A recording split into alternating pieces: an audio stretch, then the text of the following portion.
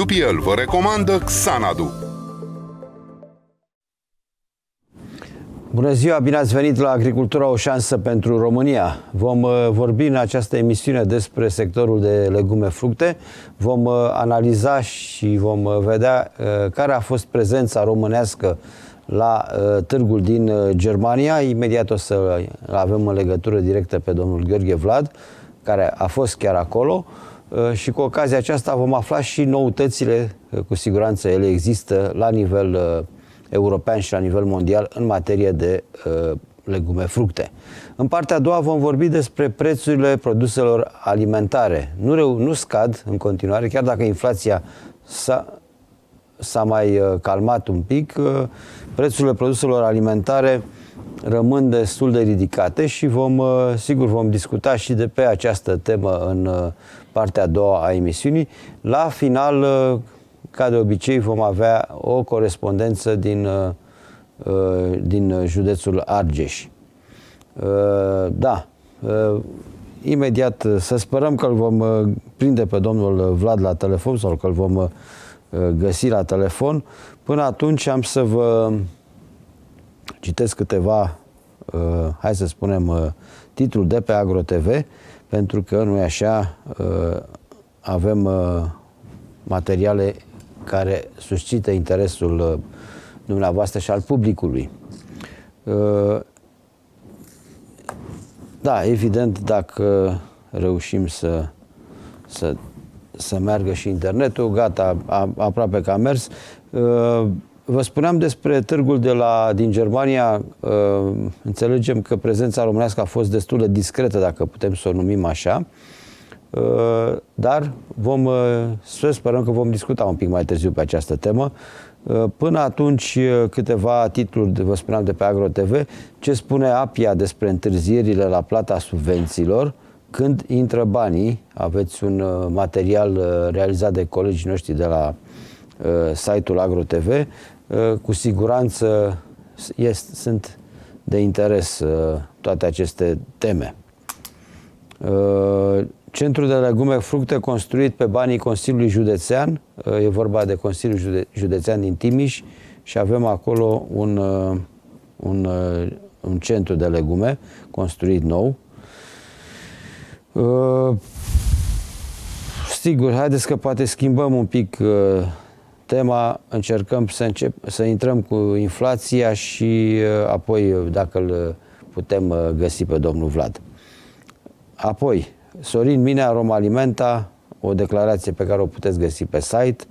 Uh, cum depui la APIA cererea de plată din 2023? Avem și aici uh, o, uh, o temă de interes, cu siguranță. Și iată câteva știri despre prețurile materiilor prime agricole, prețul porumbului, valorile din portul Constanța și din bursele internaționale și prețul grâului în creștere în Constanța, la, în port evident, cât se plătește pe tona de marfă avem o uh, informație uh, pe site. Apoi, 300 de milioane de euro din PNS se duc către primării. E de bine sau e de rău? Uh, sigur că este uh, o știre importantă, uh, pentru că se discută foarte mult în acest moment despre PNS, Planul Național Strategic. Uh, aș spune mai degrabă că da, depinde ce fac primările cu banii. Deci nu știu dacă e greu de spus dacă e de bine sau de rău. Dacă deschidem știrea vom vedea că uh, avem uh, uh, pot accesa fonduri pentru investiții în infrastructură. Mm, da. Cred și eu că puteau să fie distribuite. Sunt și alte programe care sunt dedicate primărilor și unităților administrativ-teritoriale, inclusiv pentru infrastructură, deci nu cred că Uh, trebuiau amestecate aici lucrurile, dar în fine este doar o opinie. Uh, important ar fi să fie, să fie folosite, să fie folosiți acești bani. Uh, ne mai întoarcem dacă va mai fi cazul cu la această temă a AgroTV, la site-ul AgroTV. Acum suntem în legătură directă cu Sorin Dinu, analist economic, Uh, bună seara, Sorin Dinu, mulțumesc pentru prezență. Bună seara, mulțumesc pentru invitație. Astăzi am văzut cifra inflației și sigur că nu doar că pentru că suntem la AgroTV, dar și pentru că ne interesează, nu în general, această situație a creșterii prețurilor, vedem că avem o calmare în ceea ce privește nu, rata inflației, adică avem o decelerare, cum spun analiștii a, a, a inflației. Cum analizați inflația? Uh, da, deci uh, rata, deci rata inflației se reduce, avem un proces de dezinflație, da? Uh, determinat în special, uh, să spunem, de reducerea prețurilor la produsele nealimentare, da? Și uh, o creștere de prețuri în continuare pe produse alimentare și servicii. Este normal că la produse alimentare să continue o creștere a prețurilor, dar fiind condițiile de piață, efectele războiului din Ucraina-Rusia încă nu au fost complet absorbite prin creșterea producției în alte zone. Este încă o diferență la cereale de vreo 50-60 de milioane de tone, la grâu e cam aceeași producție de anul trecut. Pe de altă parte, trebuie să țineți cont că prețurile actuale sunt țin cont și de costurile de, pentru recolta din anul anterior, care s-a făcut la prețuri mai... Uh, inputurile au fost mai scumpe, da? Da. Și uh, deci în continuare arată, se arată că uh, în continuare deci organizații internaționale consideră că prețurile vor crește la produse alimentare și în acest an. Cu cât o să vedem, depinde de condițiile de piață, cum va fi vremea. Păi, pe da. de altă parte, Stați numai puțin altă... să vă citesc niște creșteri de, de, de prețuri. Ianuarie 2023 față de ianuarie 2022 la produse de morării și panificație 22%, făina, stați un pic, avem 30%, mălaiul undeva la 26, 26% și în final să vedem și pâinea. Pâinea avem un 25%. Cam așa da, deci, sună datele păi statistice. Da, păi, păi dați, păi în mod normal, că pe lângă prețul produselor agricole au crescut și costurile de procesare. Depinde de ce tehnologie folosești. Dacă tu folosești tehnologie mai intensivă în forța de muncă, au crescut cum costurile și cu salariile. Uh, prețul la energie au fost relativ mari. E adevărat că în luna aceasta, luna ianuarie, s-au scăzut uh, semnificativ. Da? Da. Dar totuși rămân... Datorită măsurilor uh, de plafonare, nu? La, la ele ne referim sau nu numai? A, și, și pe piața da, mondială, nu? S-a schimbat și condiția pe piața mondială, că a crescut și prețul, a scăzut și prețul gazului, au scăzut costurile de producție la energie electrică, uh, s-a mai echilibrat cererea cu oferta, a început să bată vântul, deci sunt mai multe aspecte și care, care au condus la acest lucru și uh, în final, deci încă inflația încă, uh, să spunem, prețurile încă mai au potențial de creștere producției agricole. Da? Datorită în mhm. special la, pentru prețul inputurilor principale. Am înțeles. Deci, uh, credeți că, adică mari, estimările și analiștii arată că sunt condiții de creștere în continuare a prețurilor produselor uh, agricole? Da, estimări, estimările din uh, commodity market sau local Banca Mondială, care din toamna trecută, anul ăsta, pun prețul la cereale o creștere undeva la 35-40% cam la același nivel ca și am trecut. Da? Uh-huh. Deci, uh, depinde, dar totuși va depinde. S-ar putea ca vremea mai bună și așa să ducă producția și atunci prețurile au potențial de reducere, dar poate să fie și varianta cealaltă în care uh, seceta și efectele schimbărilor climatice să conducă la o, la o producție mai mică și atunci prețurile vor crește.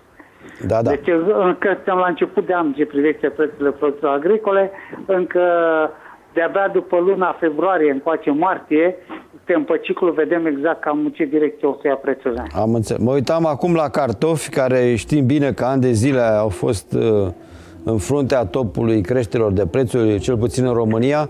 Am avut un 34%. E destul de mult în continuare, dar parcă nu mai pare atât de mult în contextul în care, iată, vorbim și de celelalte produse de 20-25%.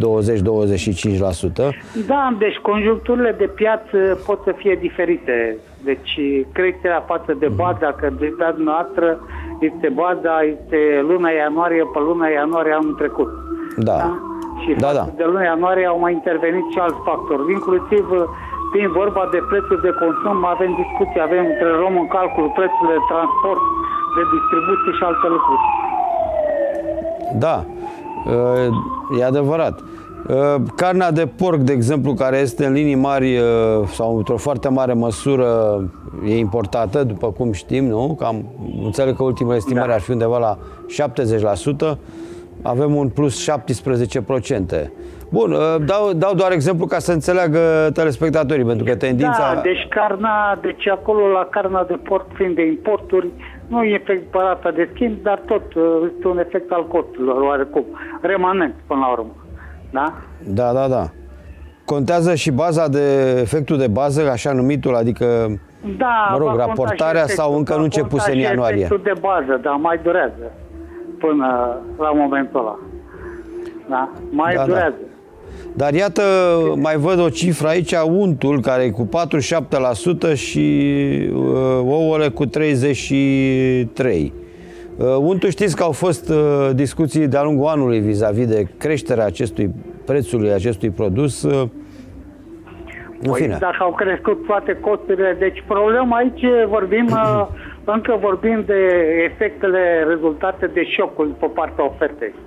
Da? Mhm. Deci în momentul toate la care se pot adăuga și alte uh, elemente legate de reglementare, de Green Deal și alte lucruri, cu, cu agricultură ecologică. Da, deci, da. În general, în general, agricultura ecologică reduce randamentele. De atunci, în sfârșit. Dar eu cred că e mai, vor, mai degrabă vorba de efectele de șoc pe partea de importuri, de costuri care se transmit. Crește Adică de preț la vreți, furaje, la vreți să spuneți că energie. vin în lanț efectele, nu? Adică de la... Da, există, există, va exista o perioadă în care uh, efectele prețurilor ridicate de anul trecut încă se vor mai menține în costuri. Totul depinde Da. cum vor evolua lucrurile în viitor.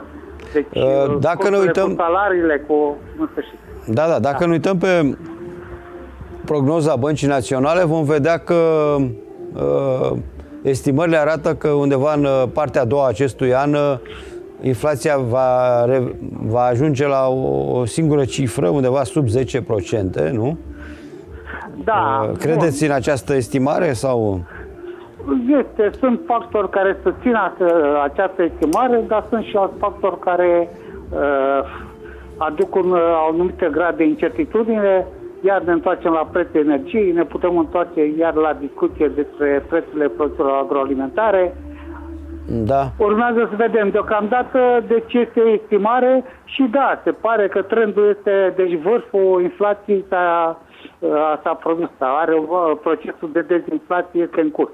Cât de repede sau cât de, adică viteza dezinflației depinde de, uh, de o seamă de factori conjuncturali care, nu știu, de piața salarii, depinde de energie, de, Da. de exemplu, poate să fie problema cu China, dacă își va reveni sau nu, în punctul de care va crește prețul țițeiului. Deci, oricum, prețul gazelor la momentul ăsta în Statele Unite este sub prețul din, uh, de la începutul războiului de anul trecut.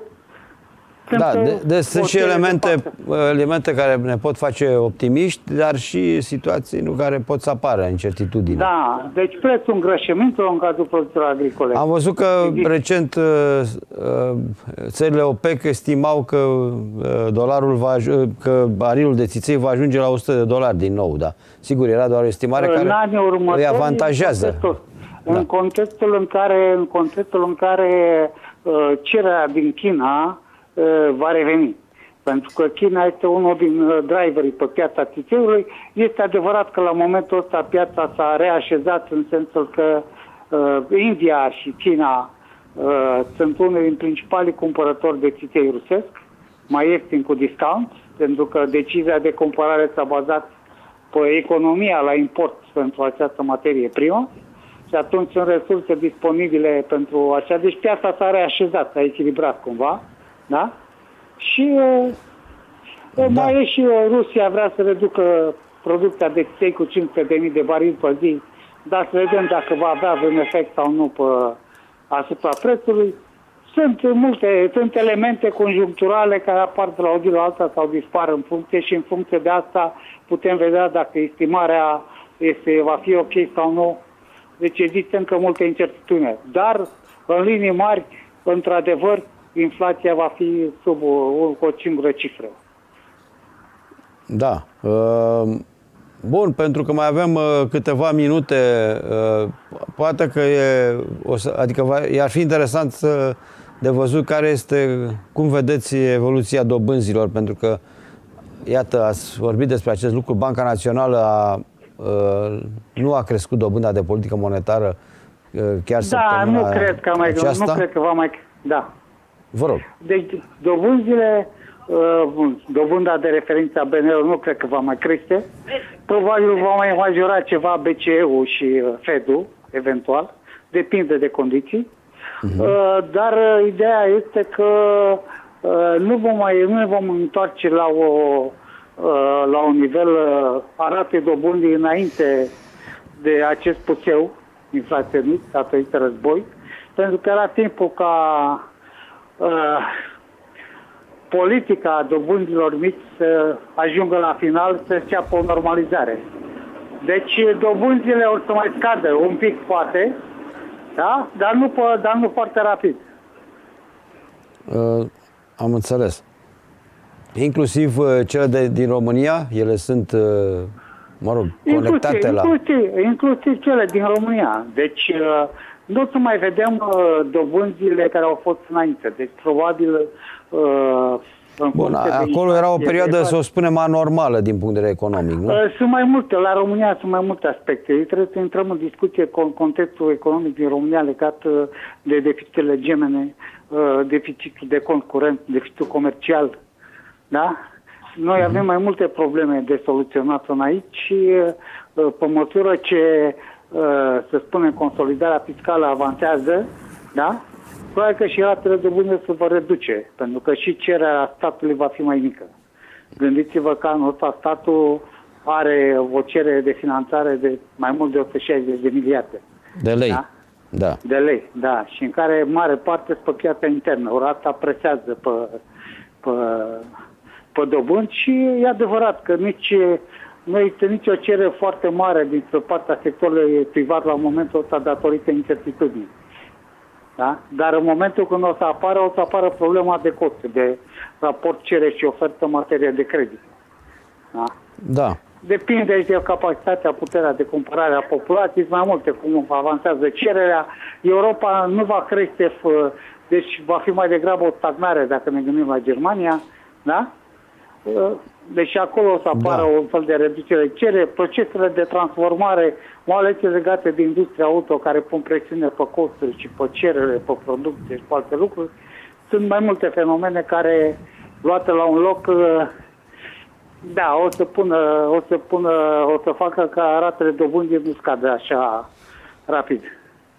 Bun, uh, pentru că mai avem uh, câteva minute, v-aș ruga să ne întoarcem la la industria alimentară. Știu că sunteți un bun cunoscător al, și al acestui domeniu, uh, dar vedem că de o bună bucată de vreme, ba chiar, uh, cred că dacă nu mă înșel, aproape în mod constant în ultimii 20 de ani, uh, România a avut un deficit de balanță comercială la produsele agroalimentare și la produsele, mă rog, din alimentare cu precădere putem găsi, se poate găsi totuși o soluție de politică publică pentru a uh, scăpa de acest deficit sau uh, vi se pare că lucrurile sunt așa de, ne, de nerezolvat? Uh, depinde, s-ar putea să existe instrumente, s-ar putea să existe. Problema industriei agroalimentare din România, uh, una dintre probleme a fost MEBO, deci au privatizat companiile către angajați și conducere, companii care aveau nevoie de capital de lucru mare ca să reziste pe piață. Tehnologia a fost relativ veche, astfel încât multe fabrici de procesare s-au închis de-a lungul vremii. După aceea, dacă comparați valoarea adăugată în industria agroalimentară din România cu Bulgaria sau, sau uh, țările din vest, ea este mai mică ca și ponderea profitului în valoarea adăugată, da? Unde România Deci asta undeva... înseamnă o lipsă de performanță, într-un fel, nu? E vorba de tehnologie, e vorba de produse, mm. de valoare adăugată a produselor. Deci Ok. okay. gândiți-vă că una e să faci, uh, vorbim de biscuiți aceia care sunt mai fin sau așa, una Da. e să faci genul ăla de biscuiți, alta e să faci biscuiți integrali. Da? E Da. marjă, diferență de marjă de profit. Uh, una e să faci pâine din asta franzelă, Feliată. Da. da, franzelă, altă să faci pâine aceea cu diverse semințe, substanțe sau alte lucruri. Da? Da, Naturală, care înseamnă alt cost. Vedeți că e diferența la preț de la, la aproape dublu. Da? Da. Uh, Sunt uh, aspecte de genul ăsta. După aceea uh, trebuie să ne gândim uh, la dimensiune și capacitatea de negociere. Principala cală de distribuție sunt marile lanțuri de magazine care au nevoie, pentru a distribui, au nevoie de cantități relativ mari, adică cantități industriale. Și aici ne putem uităm la dimensiunea firmelor din România, din industria agroalimentară, la capacitatea lor de a, de a fuziona. Noi am văzut că de-a lungul vremii în România, după fiecare criză, nu prea a urmat un mare val de consolidări, cum a apărut în alte țări. Da? Consolidări care să reducă costurile, să crească puterea financiară și puterea de piață Da. sunt multe, sunt aspecte de genul ăsta care, așa, și a doi, uh, importurile de materii prime, odată exele- de produse agroalimentare. Pe de o parte, uh, vedem că nici în sectorul agricol nu există o capacitate uh, de a furniza cantitățile uh, de produse solicitate de aceste magazine. Deci e gândit la lucrurile normale. Da, roșii, păi dacă ne castraveți. uităm la analiza dumneavoastră, aproape că ne lipsește tot. În afară de producția vegetală, acolo suntem Păi și la bine. produ- Da, deci ideea este... Sau uh, aproape bine, mă rog. capacitatea- Deci uh, capacitatea de a furniza la un preț accesibil și de calitatea solicitată. Că aici intră în joc și consumatorul. Pentru că importurile astea nu sunt pentru că ar vrea să vândă mai. Deci magazinele ca platforme de vânzare vând acele produse care le cer clienții. Da? Da. Ori clienții, uh, în funcție de puterea de cumpărare, de dorința lor, de comportamentul de consum, vor anumite tipuri de producție, care aceste magazine trebuie să le aibă în magazine, nu când se poate, ci tot timpul. Da? Da. Deci gândiți-vă și la programul Tomata. Avem noi mai multe roșii de țară, de calitate, naturale. Adică sunt multe aspecte care țin de modul de funcționare a economiei din România și a sectorului agroalimentar. Am înțeles. Exact. Adică este acea problemă care s-a pus de-a lungul fărnițarea fermelor, uh, capacitatea, capacitatea de intervenție de a rezolva problema, de exemplu, peste porcine, care durează de câțiva ani. Da. Care nu, nu permite uh, o redezvoltare a sectorului zootehnic. Deși și aici intrăm în altă discuție. Pentru că conform dorințelor Uniunii Europene pe programul ăsta de tranziție verde, da? Se dorește limitarea zootehniei, creșterea mai degrabă a impactului uh, uh, producției vegetare și a înlocuitorilor de carne. Deci sunt mai multe, sunt uh, mult mai multe lucruri și care într-adevăr țin de capacitatea companiilor respective de a se dezvolta, de a inova, de a investi în tehnologie, Mulțumesc. de a investi în produse noi. De acord. Vă mai, vă mai invităm să discutăm pe aceste teme. Sunt teme fundamentale Da, pentru uh, agricultura și industria alimentară românească. Uh, vă mulțumesc, Sorin Dinu, analist economic, Cu pentru plăcere, prezența la plăcere. emisiunea noastră. Vă mulțumesc. Uh, Bine, luăm la doar o scurtă pauză, după care ne întoarcem și discutăm uh, în continuare pe teme legate de sectorul agricol. Rămâneți cu noi!